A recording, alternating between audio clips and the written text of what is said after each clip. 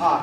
Slăvit să fie El, doar că am crezut și credem însuși credința pe care o avem în noi, împinge ca și într-o zi ca și aceasta de șabat, să fim în casa Tatălui nostru din ceruri și să ne bucurăm împreună. Slăvit să fie El, să-i aducem laudă, să-i aducem cinste, să-i aducem onoare, celuia tot puternic, binecuvântat să fie El. Amin. Și tot ceea ce facem, facem prin credință, Aleluia, binecuvântat să ajută-ne, fie El. Doamne. Deci aici în evrei și credința este o încredere neclintită în lucrurile nădăjduite, o puternică încredințare despre lucrurile care nu se văd. Uh, Când eram copil, și poate și voi, când eram copil, ne aducem aminte, fiecare am avut părinți, cei mai mulți dintre noi și ne-au crescut părinții cu atâta drag și cu atâta grijă. Când eram copil, nu numai că credeam în părinții mei, dar mă încredeam din toată inima, așa cum un copilaș, el nu are nicio problemă cu viața, uh, cu mâncarea, cu unde se va culca, unde va dormi, ce va mânca. El este fără grijurile acestea. De ce? Să încrede din toată inima în părinți, fiindcă părinții le poartă de grijă copiilor, mă iubiții mei, frați și surori. Mi-aduc aminte, eram copil, tuna și fulgera, era, mă, mă, mi-era frică așa când tuna, fulgera afară, mai ales noaptea, așa se vedea o lumină în cameră și mă lipeam așa de tare de tata și stăteam, credeam că el este protectorul meu și el mă protejează. Parcă dacă eram lipit de el și sub plapon, așa stăteam, de ce, dar ce din de ce, așa mi-e frică? Și tata punea mâna peste mine și simțeam protecția lui și mă încredeam în el că el mă poate proteja, mă poate apăra de orice lucru rău. Așa că așa ar trebui noi, copiii Tatălui Ceresc, ca să ne încredem în El, din toate, nu numai să credem, că una este ca să credem în El, dar alta este ca să ne încredem în Cel Atotputernic. Să fim plini de încredere. Și noi cred că cu toții suntem plini de încredere, iubiții mei, Măcar că nu am văzut lucrurile care ne sunt pregătite, împărăția frumuseții Tatălui nostru Ceresc. Noi n-am văzut semne, miracole și minuni. Mi-aduc aminte de Toma. Toma care a umblat trei ani și jumătate cu Mântuitorul. Dar a văzut atâtea minuni și semne, a văzut învieri din morți, a văzut pe Lazar care a fost sculat din mormânt, care era de patru zile mort și a adus la viață și a văzut mult mai multe învieri și demonizații erau eliberată, mulți vorbeau, surzi auzeau și atâtea lucrări minunate pe care Mântuitorul le-a făcut și poate chiar și Toma a făcut lucrări minunate, că Tatăl le-a trimis doi câte doi și le-a dat putere ca să facă mari și minunate lucrări. Și toate aceste prin credință, slăvit să fie numele Cea Puternic. Dar totuși când a înviat Iașua din morți, când, când i-a spus cei 11 lui Toma, cei, cei 10 să zicem poate, i-a spus lui Toma, uite l-am văzut pe Mesia, a fost Mesia în mijlocul nostru, dar vedem, zice, eu nu cred lucrul acesta. Eu nu cred până nu voi pune mâna. Eu dacă trebuie să pun mâna, eu nu cred. Ne dăm seama câtă necredință a fost în omul acesta, iubiții mei. Și eu zic câtă credință este noi, eu așa zic, că este o mare credință noi, mai fraților. Că noi n-am văzut minuni, noi n-am văzut semne, noi n-am văzut lucruri extraordinare pe care le-a văzut uh, ucenicii Domnului timp de trei ani și jumătate și a văzut Israelul și Mântuitorul îi mustră, dacă nu vedeți semne și minuni, cu niciun chip nu credeți. Voi numai atunci credeți dacă vedeți lucrări extraordinare. Voi numai atunci credeți dacă vedeți minuni. Deci, într-adevăr, zice, grecii caută înțelepciune și evreii caută minuni, cer minuni, să se vadă minuni, să se vadă semne. Dar ce minunat lucru este că Tatăl ne-a dat această credință. De aceea zice Iuda că zice să vă luptați pentru credința care a fost odată, odată Sfinților pentru totdeauna.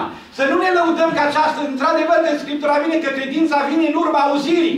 Prima dată trebuie cineva să audă cuvântul, să cuvântul să fie vestit, și cineva să-L audă cuvântul și prin auzire vine credința, dar această credință vine prin Duhul Tatălui Ceresc, slăvit să fie numele Lui. Deci nu, e, nu pornește din mintea mea, din inima mea, din euul meu, din gândirea mea, să nu creadă cineva că noi am crezut și suntem mai buni decât ceilalți, care nu, această lucrare nu știm de ce Tatăl ne-a ales pe noi și a pus în noi această credință, slăvit să fie El, Amin. ca să credem Scriptura, în primul rând să credem cuvântul Lui, să credem legea Lui, să credem șabatul, sărbătorile Lui, și fiind, fiindcă credem aceste lucruri, venim în sabat la adunare Credem în șabatul milenar, credem că Iașua va duce împărăția, credem în ordinea minunată și disciplina care va domni pe tot pământul. Și în toate aceste lucruri, noi numai prin credință, noi nu umblăm deloc prin vedere, mai frate. Nu știu dacă observați, noi, noi nu umblăm prin vedere, noi nu umblăm numai prin credință, și pe baza cuvântului, pe baza Scripturii. Este un lucru atât de minunat lucrul acesta, ca să ne încredem. Aceasta este definiția credinței. Să ne încredem în lucrurile care nu se văd, o puternică încredințare despre lucrurile care nu se văd. Să, să, să citesc în Scriptură, în Apocalips, că acolo este un tron, l-a văzut Ioan, eu cred că acolo este un tron, acolo pe tron stă cineva, acolo sunt 24 de bătrâni, acolo sunt patru făpturi vii, acolo este o mare de sticlă, acolo sunt șapte lămi de foc care sunt cele șapte duhuri ale lui Dumnezeu, acolo este mielul care îl părea aruncheat cu șapte ochi și șapte coarne și citesc Scriptura și cred toate aceste lucruri și mă bucur prin credință și cu Duhul mă duc acolo dacă vreți, mă duc și văd prin Duhul meu, văd aceste lucruri și această frumusețe, văd îngerii care îi cântă în laudă pe cel atât puternic și toate aceste lucruri, mai frate, tinule și fraților, numai prin credință, mai fraților, nu numai prin credință. Și aceasta este o credință puternică, este o credință neclintită, este o credință care rămâne pentru totdeauna. Deși va veni un timp când credința se va sfârși, când va veni împărăția, când vom vedea pe Domnul nostru Mesia, vom vedea aranjamentul și toate lucrurile. Nu, sigur că nu vom mai avea ce să credem. Dar până atunci, noi mergem și umblăm numai prin credință. Binecuvântat să fie numele Domnului. Fratele Dinu amintea ceva și eu iară vreau să amintesc și să spun ceea, să, deci să accentuez ceea ce a zis el. Există o credință sentimentală. Uh, credința aceasta sentimentală este foarte bună, să nu știți, să nu credem că nu e bună. Deci, prima dată trebuie să existe credința aceasta sentimentală în noi.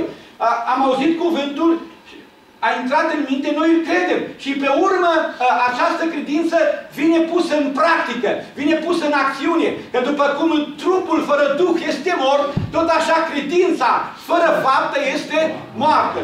Și aș vrea să citesc, uitați-vă robul lui Iahve Moșe, dacă noi citim în numeri la capitolul în numeri la capitolul, mi se pare chiar 20, observați acolo când Tatăl Ceresc îi poruncește la Moise ca să, să vorbească stâncii, ca stânca să dea apă. Vorbește stâncii, Moise, a spus Tatăl Ceresc și ea, stânca aceasta vă va da apă și vei sătura poporul și, uh, și vitele și tot ce este acolo.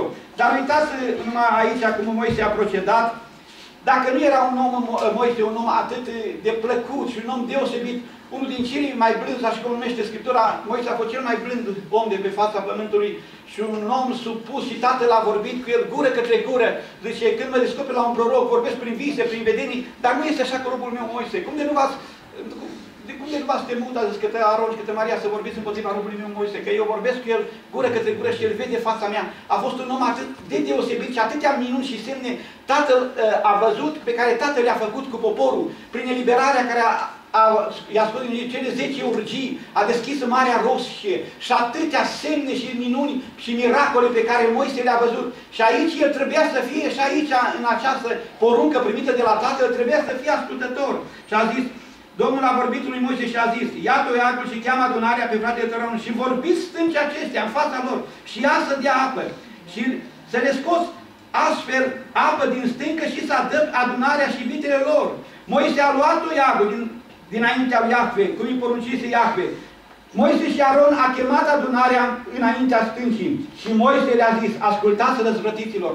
Dar a spus tatăl să spună lucrul acesta, tatăl n-a spus să spună lucrul acesta.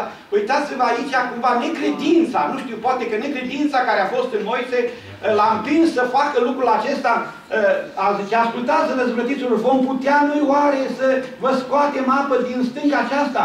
Apoi Moise a ridicat mâna și a lovit stânca de două ori cu toiagul. Deci tatăl nu a zis să iei toiagul, nici să lovească stânca.